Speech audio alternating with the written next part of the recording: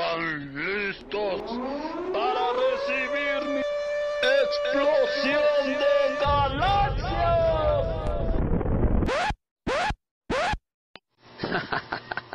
no, ya en serio. Mejor veamos el video.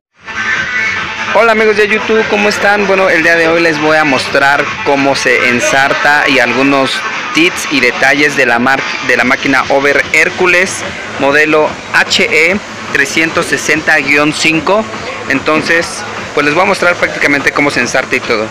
Todas las máquinas over eh, y en este caso las festoneras máquinas de over de 4 hilos de 3 hilos o de 5 hilos tienen un diagrama en donde te especifican en dónde va cada hilo. Muchos no le entienden porque obviamente esto está plano y aquí está pues 3D entonces lo ves mejor. Pero bueno vamos a ver cómo se ensarta paso a paso Ok, esta máquina es de 5 hilos, tiene 4 tensiones al frente y en la parte de atrás tiene para poder meter el quinto hilo para la aguja de seguridad, pero en este caso solo vamos a ensartar 3, 3 hilos.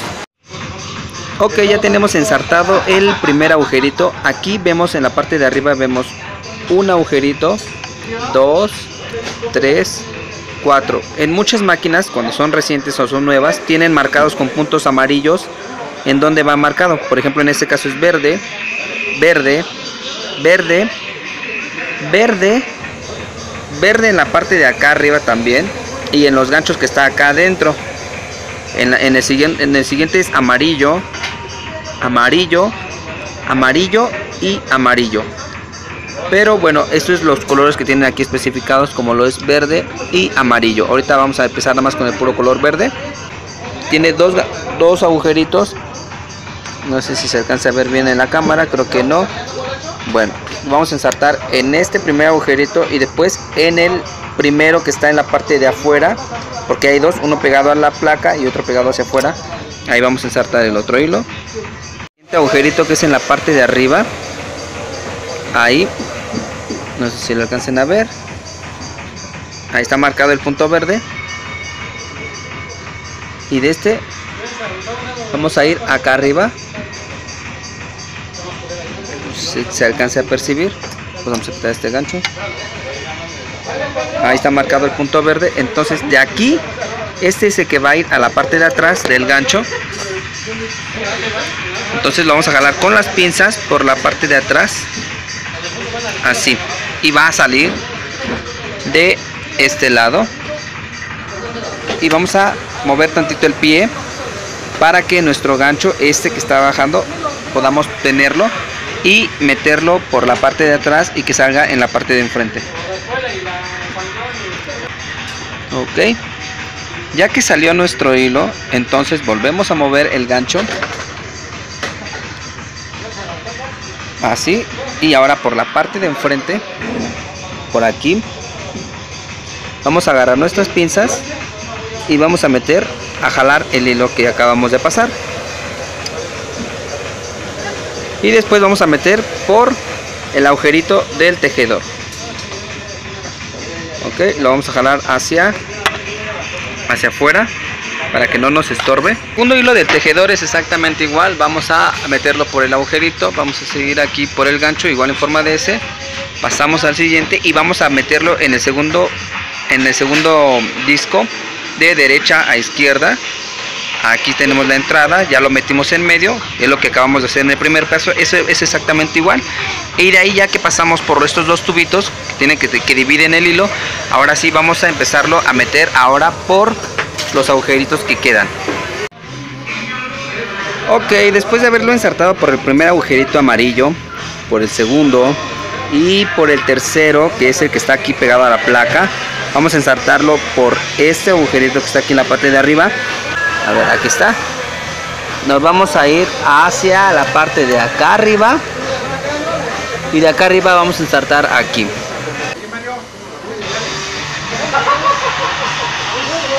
ok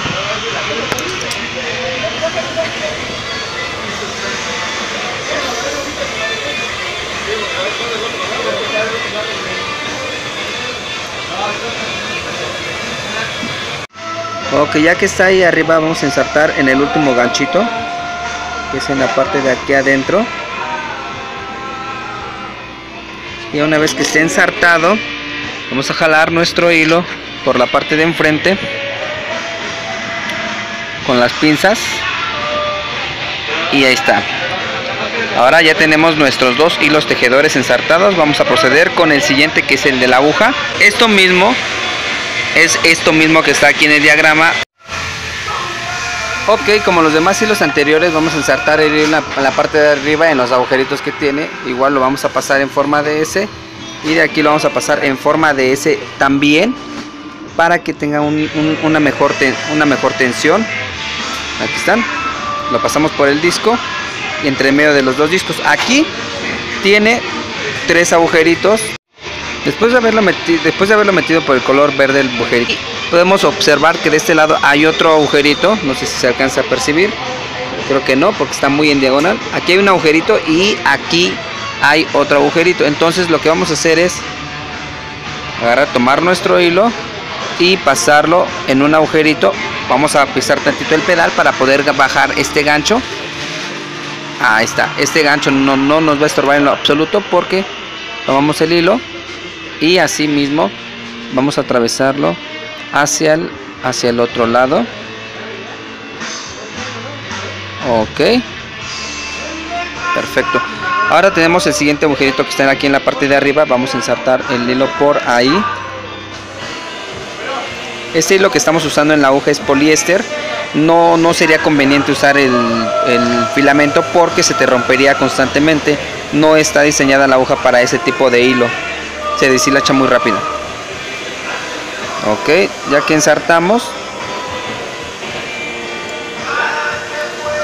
Tenemos unos canalitos aquí de este lado para una aguja que sería esta, que la que es de seguridad, que no la tiene ahorita. Y tenemos el otro lado aquí la hendidura para poder meter la- el hilo. Primero vamos a meter el hilo en la parte en la aberturita que tiene en la parte de aquí. Ya que salió nuestro hilo con nuestra ayuda de siempre de nuestras pinzas porque hacerlo con las manos sin pinzas es muy complicado jalamos el hilo y vamos a pasar por atrás del disco porque esto de aquí se levanta. Entonces lo vamos a pasar por la parte de abajo ahí está. Ahora levantamos también nuestra aguja. Y tenemos un agujerito en la parte de aquí adentro. No se alcanza a percibir en la cámara pero aquí adentro tenemos un, agujerito. Vamos a meterlo ahí también el hilo. El hilo en el agujerito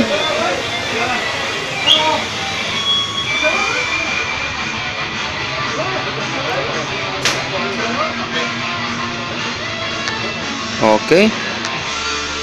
Jalamos con nuestras pinzas.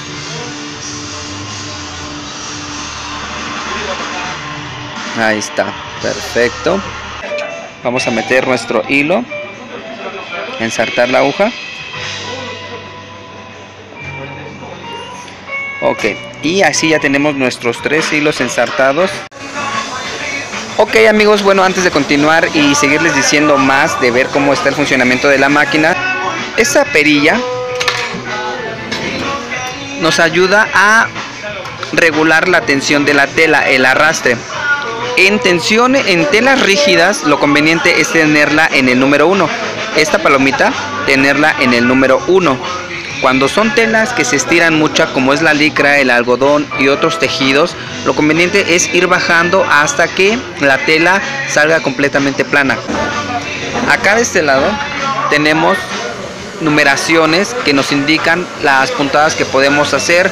1 2 3 4 5 6 la máquina se puede regular para hacer puntadas muy abiertas o muy cerradas en este caso con ayuda de, de este botoncito. Este botoncito a la hora de presionarlo y girar esta perilla al mismo tiempo.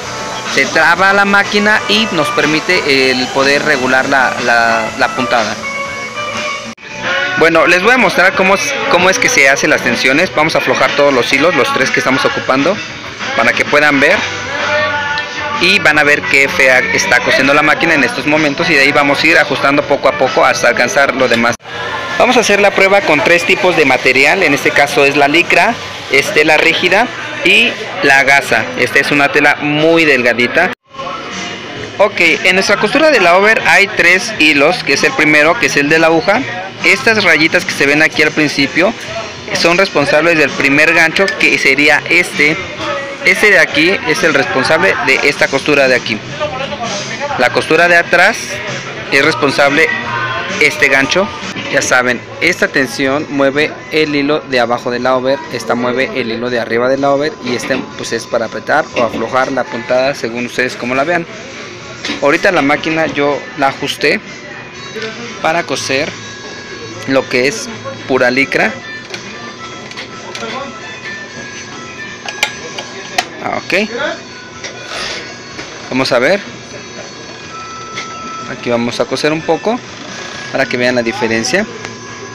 La over de los dos lados se ve se ve bien. Se ve la puntada. Esta over de esta parte de aquí, este este tejido, este tejido se controla por medio de esta tensión. Y esta tensión controla el tejido de la parte de arriba. Entonces cuando su costura esté floja y esté esta costura esté a la mitad entonces lo que tienen que hacer es apretar esta. Por ejemplo si yo aflojo aprieto esta costura un poquito. Vean la diferencia.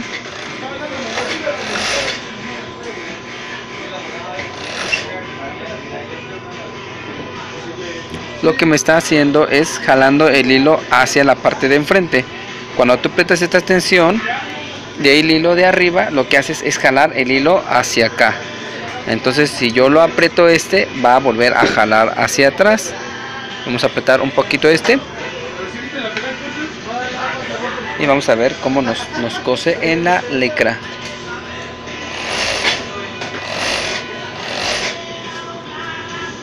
Ahí ya se está aflojando nuestra costura de la recta entonces hay que darle un ligero apretón. Se está volteando la costura de la over esta se está haciendo hacia el frente entonces lo que hay que hacer es aflojar esta un poco y apretar un poquito más esta ok ahí está nuestra costura nivelada. Está la over está la recta y está el tejido por enfrente. Aquí lo que pasa es que la puntada está muy abierta. La vamos a cerrar con la manija de aquí y de la parte de adentro de la over.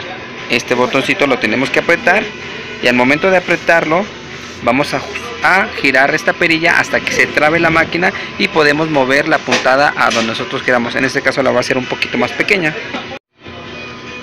Ok yo ya hice la puntada más pequeña se nota la diferencia está más cerrado el tejido de los dos lados que a diferencia de aquí de primero donde estaba más abierto y así es como nuestro tejido en la over se ajusta para la tela de licra recuerden que para la licra tenemos que tener el cigüeñal en el número 2 para las telas planas lo recomendable es tenerla en el número 1 Ok, ahora vamos a probar en tela rígida. Aquí lo recomendable para algunos es utilizar hilo poliéster en donde van los filamentos porque genera mejor tensión, trabajo y más cuando es una máquina que se tiene que utilizar, que se tiene que utilizar para varios tipos de telas al mismo tiempo como la gasa, como la licra o en este caso como tela rígida. Entonces con esos tres hilos poliéster cose mucho mejor.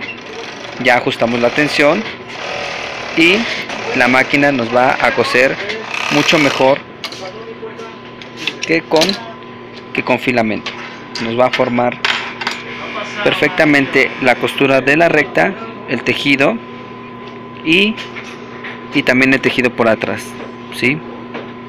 esta variación de ancho tiene que ver mucho con el cigüeñal la posición en la que esté del 1 2 3 y así en adelante Recuerde que con telas rígidas hay que estar lo más cercano al, al 1 porque no estira absolutamente nada. Ok, ahora vamos a meter una de las telas más complicadas que es la gasa. En este caso la estoy metiendo con sin moverle nada, tal como metí la costura de la tela rígida y vamos a ver que aquí me marca bien apuntada por la parte de atrás, pero por la parte de enfrente me está haciendo la cadena un poco floja. Eso quiere decir que tengo que apretar un poco la tensión de atrás. Vamos a apretarlo un poquito y vamos a ver cómo nos va cosiendo.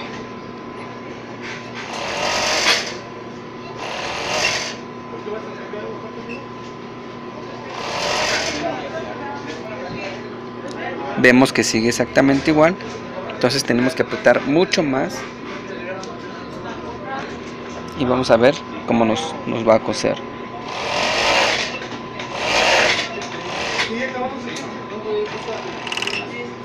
Ok, se compuso un poco mejor. Sigue estando la cadena aquí perfectamente bien. Y atrás necesitamos emparejar esta costura de la parte de arriba. Entonces vamos a apretarla aún más todavía. Puse dos colores distintos para que puedan notar la diferencia entre la cadena de atrás y la cadena de enfrente.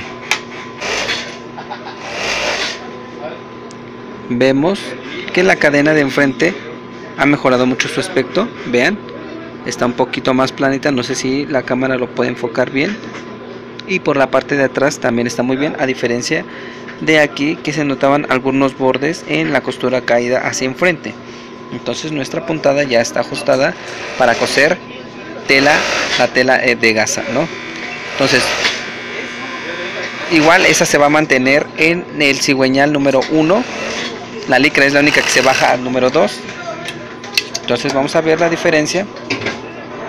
Nuestra puntada está perfectamente marcada en la parte de enfrente y en la parte de atrás. Bueno espero que les hayan servido este tip que les acabo de dar. Recuerden son los ganchos los que son muy importantes las agujas al igual.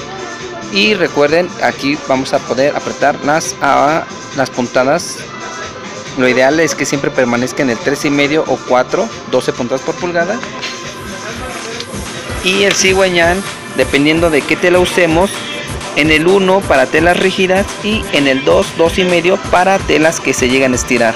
Sale recuerden amigos suscríbanse al canal y nos vemos hasta la próxima